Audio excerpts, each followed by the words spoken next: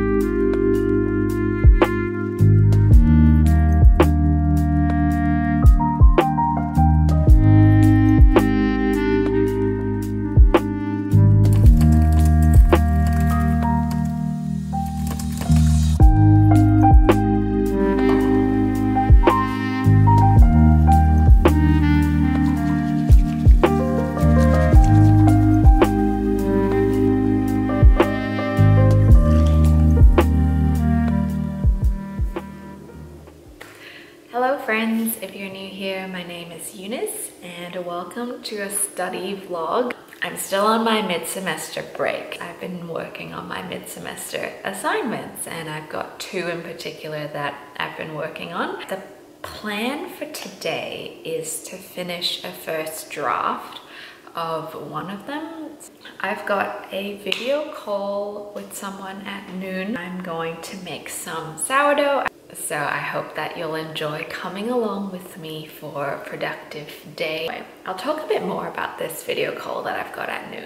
There's this Facebook group that I'm part of. So I posted the other day and asking for tips on how to go about doing assignments. That would be really helpful. A lot of people have replied with really helpful comments.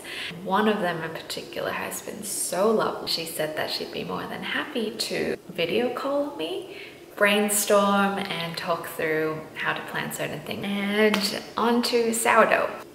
So I fed my sourdough starter last night. So it's now nice and bubbly. I want to make this a jalapeno and cheddar loaf. I made a roasted garlic and rosemary one last weekend and it was so yummy. And I'll check in with you throughout the day.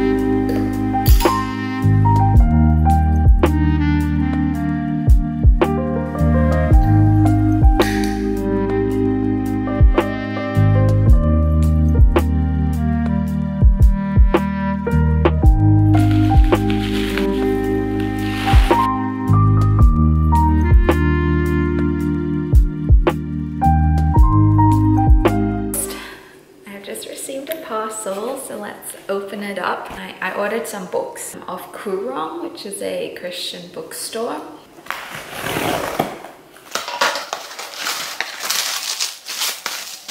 Yay! I'll show you a little haul. It's How to Read the Bible for All It's Worth. We've heard really great things about this book.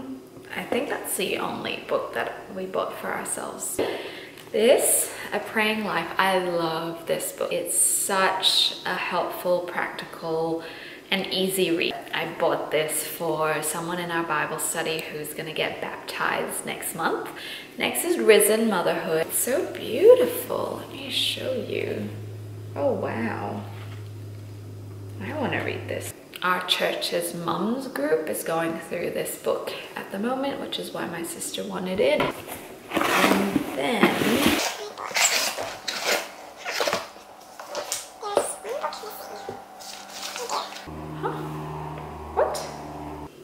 The one book that I made this order for hasn't come. I was freaked out seeing that it wasn't in this box because I thought that I might have forgotten to order it and I did order it. But anyway, I'll continue the haul now. So I have a friend who is new to our Bible study group and she's got teenage children and so I've bought her praying through the Bible for your kids because she did mention that she wanted to um, be praying for her children. Oh, and the last three are for my nephew's birthday. He's just turned two and this Sunday will be his birthday party. Three kids' books. I quickly flip through. So it's the boy who shared his sandwich, the dad who never gave up, the house that went splat. The person who listens to Jesus and does what he says is like a clever man who built his house on big strong rocks. The rain came, splash, pour. The flood came, whoosh. The wind blew hard, but the house stood still. Phew, the great big rocks made it strong. The dad who never gave up, I'm guessing this is the two lost sons story, yeah. The illustrations are so nice too. All the bread and the fish, so cute. I love children's books. And I also like how at the back there's notes for grown-ups. The parents can read through it. There's the actual Bible passage where it's from and little notes. So that's really nice. That's my little book haul. Hopefully my missing book will come shortly. It's now time for my sourdough stretch and folds.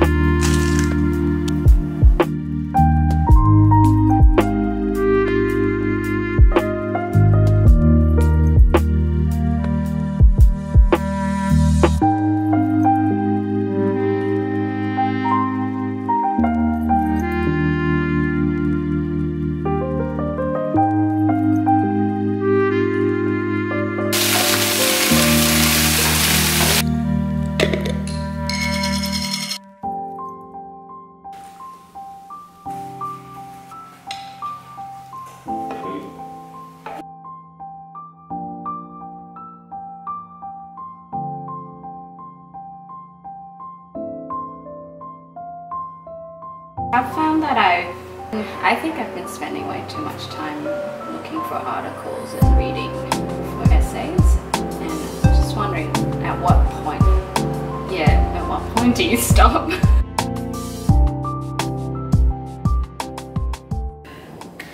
So, I was eating lunch and then realized that I was running late. I had my the video call with the lady at 12.30. It was so helpful.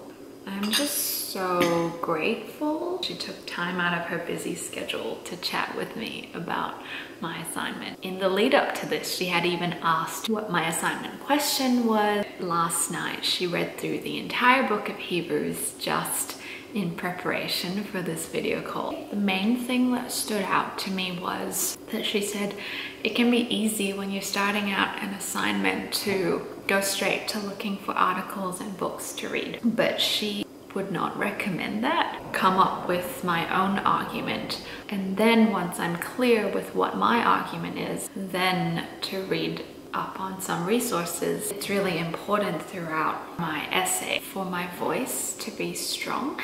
That was super helpful.